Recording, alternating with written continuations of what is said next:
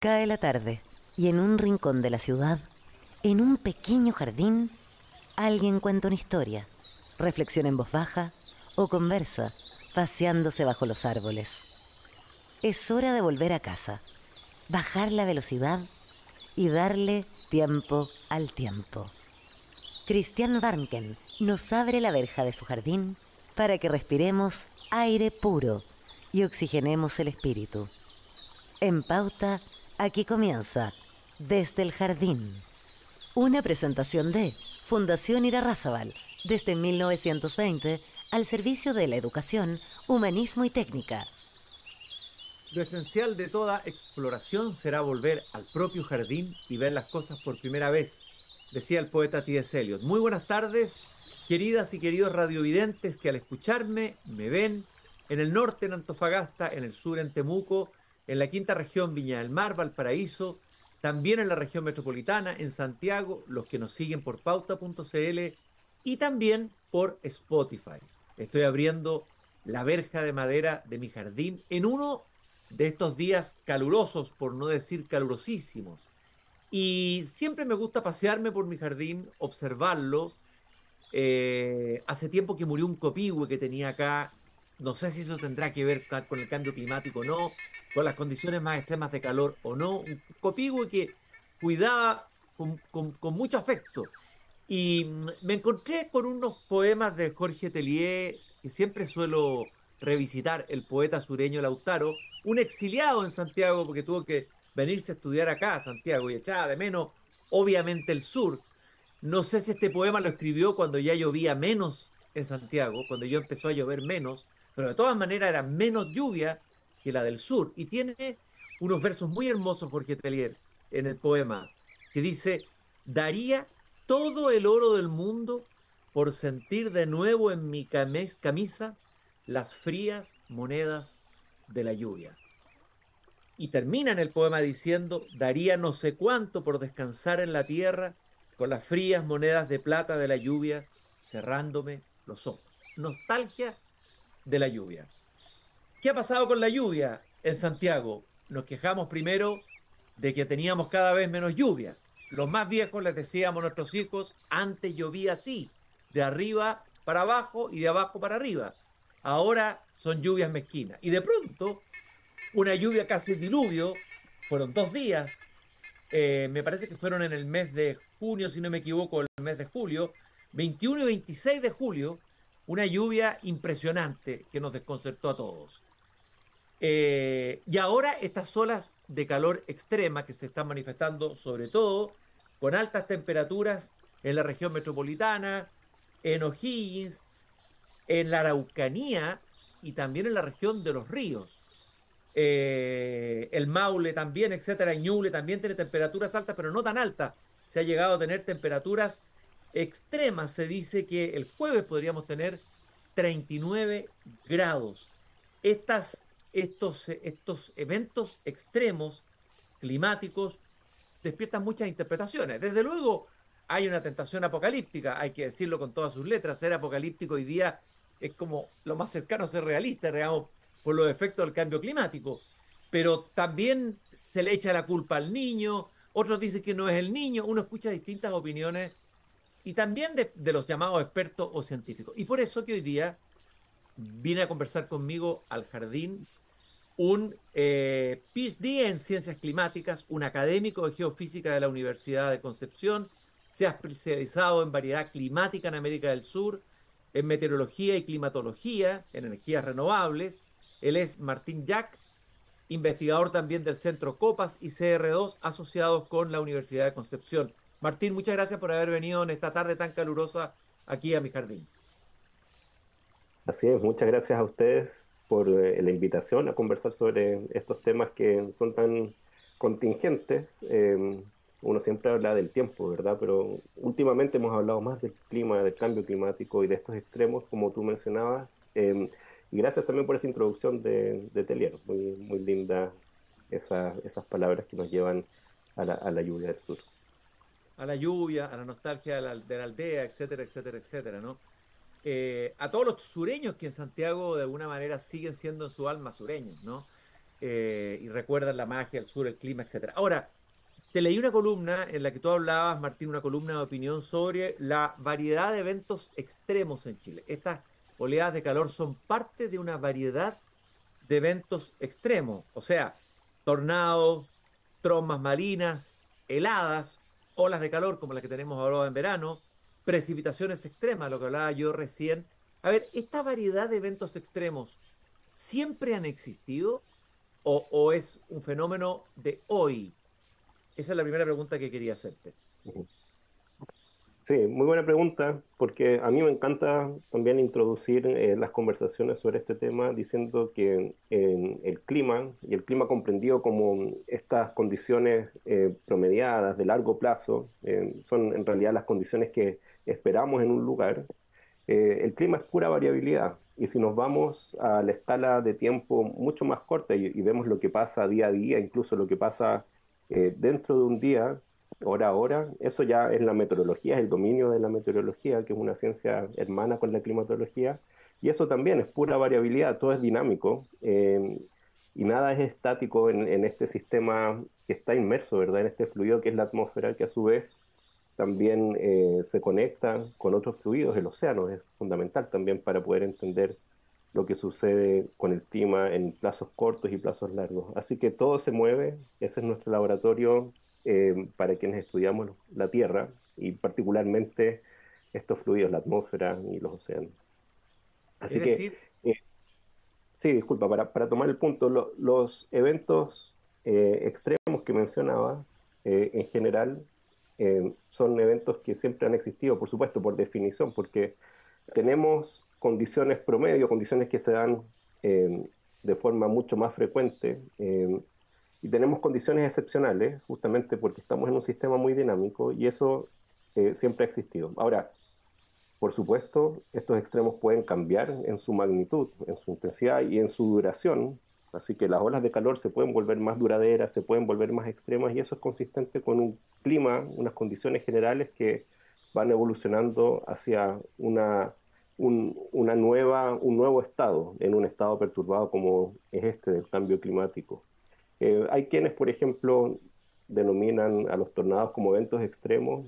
Alguna vez conversaba con una colega hace algunos meses y me decía, mira, yo en realidad no lo calificaría de evento extremo porque es un fenómeno, es un fenómeno infrecuente y es un fenómeno que ciertamente tiene muchos impactos, pero, pero no es que eh, uno hable así de, de, de tornados solamente como algo extremo. Son infrecuentes y puede haber de distinta intensidad, pero digamos que son en sí un tipo de animal en esta fauna de, eventos que se dan, que tú los mencionabas en esta introducción. En esa misma columna, tú decías algo, una frase bien interesante, decía, la naturaleza en Chile nunca duerme y nosotros debemos aprender, creo que copié bien la frase, a controlar o acompañar sus vigilias. Eh, ¿Qué quieres decir con eso? La naturaleza chilena nunca duerme. ¿Es una naturaleza estresada ¿O es que realmente la naturaleza nunca duerme, es decir, nunca descansa? Claro, ahí pensando un poco como la canción de, de Sinatra, ¿no? Esta, la ciudad que nunca duerme cuando le canta Nueva York. Yo pienso en, en la naturaleza que nunca duerme en particular, justamente porque en esta, en este, en esta variabilidad, en este vaivén que tiene em, el clima y que tiene la meteorología, por supuesto está todo siempre en movimiento, pero particularmente esa frase también eh, tiene un guiño hacia eh, otro tipo de, fenómenos, ¿verdad? Que se escapan de mi dominio, pero que son de los colegas que, trabajan acá en las oficinas al lado mío, que es, por ejemplo, la sismología. En Chile estamos, ¿verdad? Siempre muy atentos y alertas a, este tipo de, fenómenos eh, excepcionales que puedan llegar y que nos han enseñado, ¿verdad? a, bueno, a tener que lidiar con ellos y estar también más preparados, ¿no? Eh, a fuerza de, de nada, de, repetición, ¿verdad?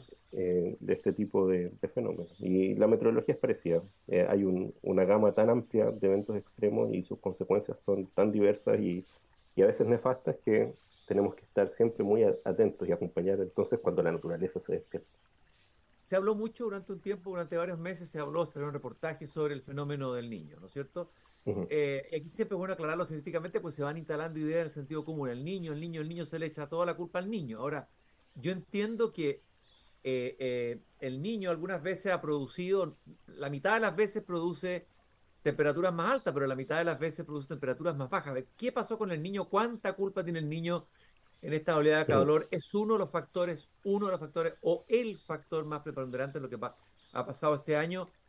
Por lo que pasó, que venía ya pasando en el hemisferio norte, lo que pasó en Brasil, que se llegó a temperaturas de 44 grados, etcétera. Sí, efectivamente, en este, este funcionar ¿verdad? Del, sistema climático, que yo digo que es pura variabilidad, es eminentemente cambio, eh, hay otra analogía que me parece muy bonita de, colegas que la han escrito así también, que eh, hay ciertos modos de funcionar del clima. Uno puede, en una visión también que tenían eh, los primeros científicos, y muy acorde así a, a, las modas del siglo XIX, uno trataba de explicar esto de forma muy mecanicista, entonces uno dice hay ciertos modos de operación del clima y es por eso también que nosotros definimos algo que se llama modos de variabilidad del clima, o sea, hay ciertos cambios que se pasan de forma preferencial en esta máquina climática y uno de esos se llama el niño oscilación del sur, que es un modo que domina la variabilidad interanual del clima, o sea, cómo cambia el clima año a año. Eh, y tiene dos fases, una que es la fase cálida y otra que es la fase fría, y se llaman así porque en la fase cálida o en la fase fría, respectivamente, tenemos eh, condiciones anómalamente cálidas en el Pacífico tropical, en grandes extensiones, miles de kilómetros en el Pacífico tropical, eh, frente a las costas de Perú y de Ecuador. Em, y aunque eso está relativamente lejos, bastante lejos, digamos, eh, del centro de Chile, por ejemplo, eh, esas condiciones en el, en el, Océano Pacífico, que son persistentes y duran por varios meses, así que uno puede catalogar un año como un año el niño o un año la niña, esas condiciones pueden establecer entonces anomalías, desviaciones del clima en temperatura o en precipitación. Es así, por ejemplo, que históricamente em, los inviernos em, del el Niño han sido inviernos que nosotros tenemos eh, relacionados, ¿verdad?, históricamente con inviernos lluviosos en Chile central. Y luego em, hay cierta percepción de que, por ejemplo, los veranos del niño pueden ser años cálidos. También voy a hablar, voy a referir ahora a Chile centro-sur. Hay cierta percepción de que los años del niño, insisto, son años cálidos en Chile eh, centro-sur, particularmente en el verano. Así que había mucho respeto a lo que podía pasar este verano. Eh, y la verdad es que este verano no ha sido particularmente caluroso. Si consideramos que el verano empieza en diciembre y vamos ahora ya finalizando enero, hemos tenido un verano más bien frío en las temperaturas máximas y es un poco contradictorio decirlo ahora porque estamos en medio de una ola de calor, ¿verdad? O de condiciones muy cálidas, entonces eso altera un poco nuestra percepción. Pero es muy cierto lo que tú decías, los veranos del niño no son eminentemente cálidos y sin embargo puede haber periodos dentro de ese verano que son particularmente cálidos con temperaturas que llegan em, a los 40 grados, como sucedió ayer, por ejemplo. Así que uno se pregunta, bueno, ¿y qué induce eso? Los eventos muy extremos de temperatura de 40 grados tienen que ver entonces con la configuración de la atmósfera de ese momento, y a eso es lo que yo me refería antes como meteorología, es, lo que pasa, digamos, en las escalas cortas de tiempo. Ahora, para no ser tan centralistas, ¿verdad? Eh, y, estar enfocados solo en la región metropolitana y Chile centro-sur, que eh, ahí se aglomera mucha, una gran cantidad, una gran porción de la población. Para quienes viven en el extremo norte de Chile, ciertamente un verano del niño es un verano cálido, y eso es porque la temperatura superficial del mar también aumenta eh, sustancialmente en las costas del norte de Chile, Así que eso lo puede constatar cualquier persona que viva allá y seguramente también los bañistas que han estado visitando esos lugares. La costa de Chile, durante condiciones del niño, es mucho más cálida y por eso también allá se han eh, registrado muchas olas de calor. Y, todavía estamos dentro de la, a ver, dentro del efecto del paso del niño, estamos ya, o, el niño se está yendo, o todavía estamos dentro de eso. Estamos, estamos en una condición del niño. Eh, y esto tiene estas escalas justamente interanuales. Eh, esto se estaba formando hace un año eh, y, tarda meses ¿verdad? en constituirse esa eh, gran mancha cálida en el Pacífico ecuatorial. Hay que pensar que son volúmenes inconmensurables de agua que aumentan su temperatura. Eh, y eso entonces es un fenómeno que tiene mucha inercia em, y, se demora del orden, del orden de meses y también para em, poder desaparecer y pasar a condiciones neutras se demora también varios meses. Y justamente la proyección es que hacia otoño empiezan a decaer estas condiciones y la probabilidad entonces de que tengamos una, una situación neutra en los siguientes meses empieza a aumentar a partir del otoño. Pero digamos que este evento del niño va a ir decayendo suavemente justamente con la transición del verano hacia el otoño. A ver, entonces uno podría decir que estas temperaturas extremas no son la manifestación evidente del cambio climático o sí? La verdad es que a la mayoría de la gente eh, no, le no le gusta tener una respuesta ambigua, ¿verdad? Y, lamentablemente los climatólogos muchas veces damos ese tipo de respuestas que no son tan concluyentes. Yo digo eso porque ciertamente em, en esta situación en que estamos, donde hay un nuevo régimen climático, em, y esto producto de la emisión de gases de efecto invernadero a la atmósfera, y una atmósfera global que ha aumentado su temperatura en más de un grado desde el periodo preindustrial, ciertamente eso tiene eh, una incidencia en todo el mundo y particularmente en los eventos extremos, eso está muy probado. Así que hay una, una parte de los eventos extremos que refleja eso, que esto sucede en una nueva condición. Pero también, por ejemplo, esta variabilidad interanual de la que hablábamos eh, es un, un, factor o un ingrediente adicional a esta tendencia a largo plazo que es el cambio climático. Em, y sobre eso uno tiene una, una condición atmosférica eh, que uno podría decir es la guinda de la torta para los eventos extremos. Eh, es un gatillante de condiciones muy particulares que se dan en momentos también muy puntuales. Eh, y eso no tiene necesariamente que ver con el cambio climático ni con el niño, es parte de esta cualidad veleidosa de la atmósfera que es, caótica, es una evolución caótica. Entonces hay una superposición eh, de factores que finalmente gatillan eh, un evento extremo. Y las olas de calor son muy ilustrativas para eso, porque uno se puede imaginar bien esta tendencia de calentamiento sostenido y muy paulatino y muy firme. Y luego uno se puede imaginar también sobre eso una variación de años más cálidos y más fríos, y eso en Chile es muy notorio, la variabilidad interanual es muy notoria.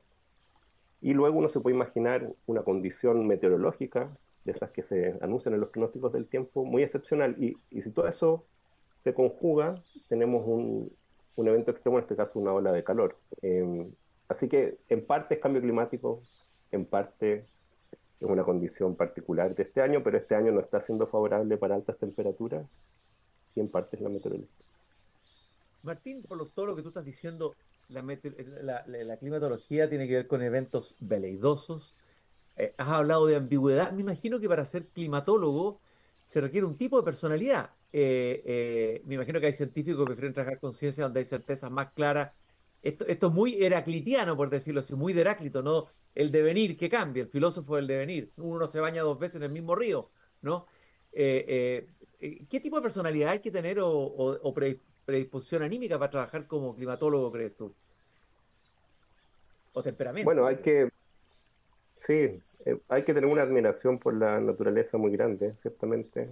Em, nosotros, eh, cuando conversamos con los estudiantes o, personas que están interesadas en, estudiar estas disciplinas, eh, hacemos énfasis en eso, que nuestro laboratorio es la naturaleza en general. Em, ahora, eso también puede sonar, como es el caso de la astronomía, ¿verdad? Muy poético y quienes entran a estudiar astronomía piensan, bueno, pasaré muchas noches eh, observando el, cielo nocturno y la verdad es que tanto astrónomos como meteorólogos, climatólogos, geofísicos, eh, pasamos mucho tiempo frente al computador. Así que eso es porque necesitamos analizar datos. Eh, hacemos muchos análisis de datos, mucha estadística en el caso de la climatología y también se realizan simulaciones, por ejemplo. Y todo eso requiere tener herramientas desarrollar herramientas computacionales que están basadas en la física y las matemáticas y me refiero a que eso también es parte de, lo que se necesita tener para dedicarse a esto, ¿verdad? una tendencia, una fascinación por esta ciencia. Y a pesar de que yo he hecho ese énfasis de que, de que esta ciencia es tan desafiante en el sentido de que, de que pareciera ser que eh, la atmósfera tiene una voluntad propia y no se deja eh, develar, la verdad es que es sorprendente que sí podamos eh, estudiarla y anticipar cómo va a evolucionar la atmósfera, incluso cómo va, a evolucionar el clima en distintas escalas de tiempo y con una gran precisión, a pesar de todo lo que se critica a, quienes se dedican a la meteorología, por ejemplo. Y eso es parte eh, de una, un desarrollo sostenido de la ciencia eh, basada en observaciones y en, mucha teoría. Em, pero luego tenemos que lidiar con, con la incertidumbre que tiene que ver con capacidad de observar la verdad y también tenemos que lidiar con, con que eh, nuestras ecuaciones verdad no permiten definir eh, completamente y sin ambigüedad cómo va a evolucionar esto en, escalas de tiempo largas, digamos. ¿sí? Pero eso es parte del caos y es, algo muy bonito también que, que surge em, en parte motivado eh, por, por la ciencia atmosférica y bueno, se ha, ido también a otras ramas de la ciencia. Bueno, lo que tú decías, o sea, me imagino que el desarrollo de la climatología en el siglo XX ha sido muy fuerte, o no sé si vertiginoso, pero han habido avances gigantescos en relación a lo que era un climatólogo o meteorólogo del siglo XIX. ¿Cuáles han, cuál, cuál sido las, las inflexiones, los cambios o los saltos más grandes de esa ciencia, los últimos saltos importantes que ha tenido esa ciencia? Eh, hay, hay, varios. Em, y digamos que esta ciencia nace eh, formalmente, por lo que entendemos como ciencia, eh, digamos, a, comienzos del siglo XIX, pero ya hay discusiones sobre, sobre meteorología de mucho antes, de verdad. Los filósofos griegos ya se ocupaban de la meteorología y el, término nace de ahí. Eh, ¿Por qué? Bueno, ¿qué, ¿qué nos llama más la atención que justamente lo que está pasando sobre nuestras cabezas día a día, ¿verdad? Es algo que siempre concita interés. Pero si nos remitimos a, la evolución en las últimas décadas, es interesante notar que si bien la teoría para poder eh, describir la evolución del tiempo atmosférico existía ya tempranamente, digamos, eh, en, una, en una porción temprana del siglo XX, no había la capacidad computacional para poder implementar esto. Eh, y por ahí algún científico eh, vislumbraba una gran sala así como de concierto con muchas personas haciendo cálculos eh, paralelamente a partir de, ecuaciones y también de observaciones meteorológicas para poder generar un cómputo rápido. Pero se dieron cuenta que eso era completamente inviable y recién con el desarrollo de computadores suficientemente potentes es que se puede tener pronósticos meteorológicos que sean útiles, o sea, que lleguen antes de lo que eh, uno del horizonte de pronóstico. ¿no? Así que eso es una gran revolución, justamente, el desarrollo de la computación. Ahora, la meteorología se basa eh, también en observaciones, eh, observaciones in situ de distintas variables atmosféricas, de la temperatura, de la precipitación, de la presión, del viento, de la humedad. y es muy bonito pensar que esta ciencia entonces es un gran esfuerzo colaborativo. Cuando uno dice eh, la temperatura media global ha aumentado un grado desde la revolución industrial es porque ha habido, no sé cuántos son, pero cientos de miles de personas históricamente haciendo observaciones día a día en distintos puntos, en distintos lugares, en condiciones muy extremas, en faros, en el Ártico, en la Antártica, gente que sale a hacer anotaciones a mano eh, todos los días, muchas veces al día.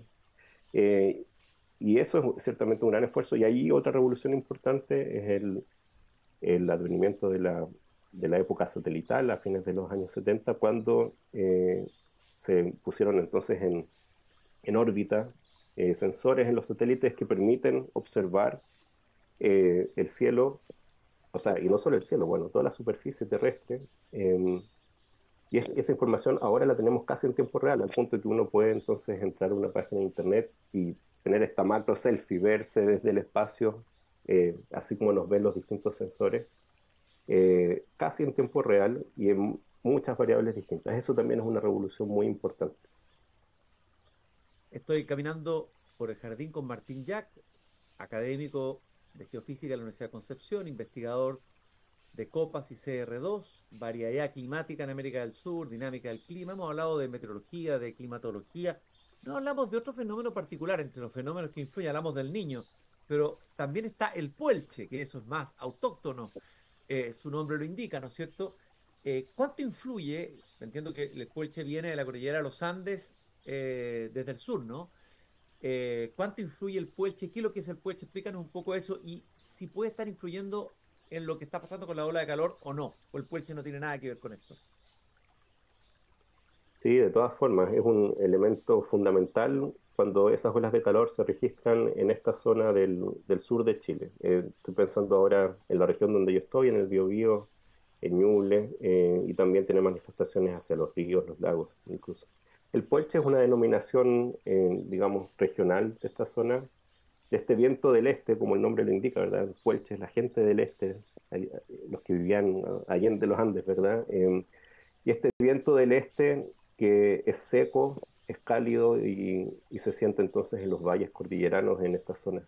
Eh, dinámicamente es muy parecido a un fenómeno que existe en, la, zona central, particularmente en la región metropolitana, en el cajón del Maipo, que es el raco, el viento raco, y que más al norte se llama terral. Eh, son configuraciones parecidas. Entonces es viento que que desciende eh, por los valles cordilleranos y se siente entonces muy seco y cálido.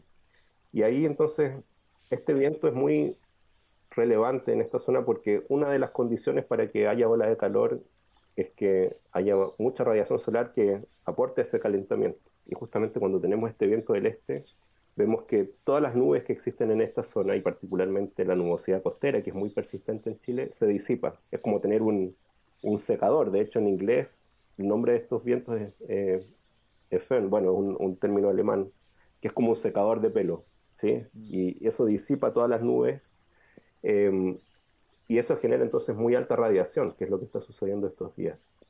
Muy alta radiación, pero también hay una compresión del aire, eh, y en ese proceso de comprimir el aire, el aire se calienta, se seca, y es la condición que tenemos entonces regionalmente, así que es un factor fundamental para para eh, la intensidad y para la persistencia de estas olas de calor. ¿Qué va, qué va a pasar con las, eh, las eh, monedas de la lluvia de la que hablaba Delie en el invierno que viene? ¿Cómo se prevé el invierno? A pesar de que estas lluvias tuvieron efectos dramáticos, es cierto, en algunos sectores más vulnerables, ahí no hablamos de, bueno, hay temas que tienen que ver con disposiciones territoriales, donde se ha urbanizado la ciudad, en lugares todo eso habría que revisarlo completo, ¿no es cierto?, en gran parte de nuestro territorio.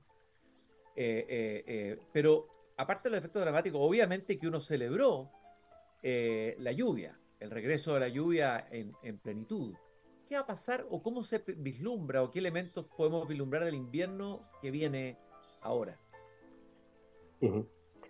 Bueno, em, estamos en un periodo de mega sequía desde hace 14 años, más o menos. Eh, eso significa que en, en, seguidilla todos los inviernos que hemos tenido también en la zona centro-sur han sido inviernos relativamente secos. Y ahí nos referimos, cuando decimos relativamente, nos referimos a esta, a esta norma que es un, el clima, el periodo de largo plazo. Y nos encontramos con el invierno del año pasado, que en la región del Maule, por ejemplo, y en torno a Santiago, ha tenido eh, registros mucho más altos que los inviernos precedentes, en parte porque hubo estos dos eventos muy extremos de precipitación muy, muy intensa. Em, y eso da un respiro, porque la discusión es, bueno, ¿se acaba la mega sequía con eso? La verdad es que en términos de precipitación hemos tenido un respiro, 2023 fue un año eh, benévolo en ese sentido, aunque seguimos con déficit de precipitación un poco más al sur, cuando uno Mira, Concepción, Valdivia, estamos como en un año relativamente normal, pero un poquito seco. Y me refiero a esto, a este contexto, porque cuando la pregunta es qué va a pasar en el invierno, la respuesta es, primero es, bueno, todavía falta un poco para el invierno, así que tenemos que esperar eh, al menos al otoño para ver cuáles son las condiciones de gran escala. Eh, pero la tendencia de largo plazo, y esto viene hace décadas, y muy notoriamente desde la década de los 2010 es que eh, la precipitación eh, está decayendo fuertemente en Chile central y, Chile, eh, el sur de Chile también. Así que lo que hemos vivido en los últimos 10 años es un vistazo de lo que va a suceder hacia fin de siglo. Va a cambiar el clima eh, y justamente esto que nos parece muy anómalo ahora va a ser la norma del futuro. Hay que tener eso muy en cuenta. Así que en gran probabilidad esperamos que si bien van a haber años lluviosos, inviernos lluviosos y vamos a ver el Mapocho, por ejemplo, y otros ríos, ¿verdad? Eh, muy caudalosos, la tendencia de largo plazo, pensando en fin de siglo, es de disminución muy considerable.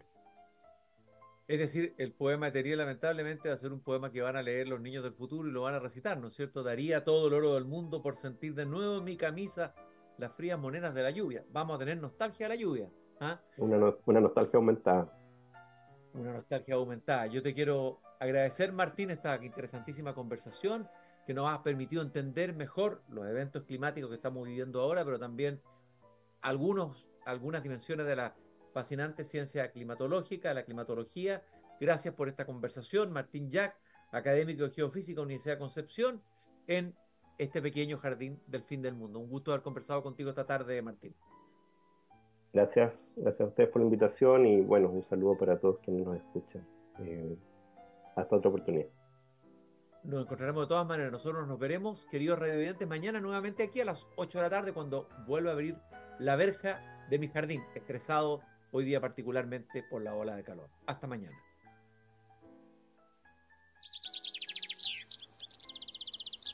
Es hora de cerrar la verja de madera del jardín. Pero Christian Warnken la volverá a abrir todos los días de lunes a viernes a las 20 horas en Radio Pauta, cuando comience de nuevo desde el jardín. Una presentación de Fundación Irarrázaval, desde 1920 al servicio de la educación, humanismo y técnica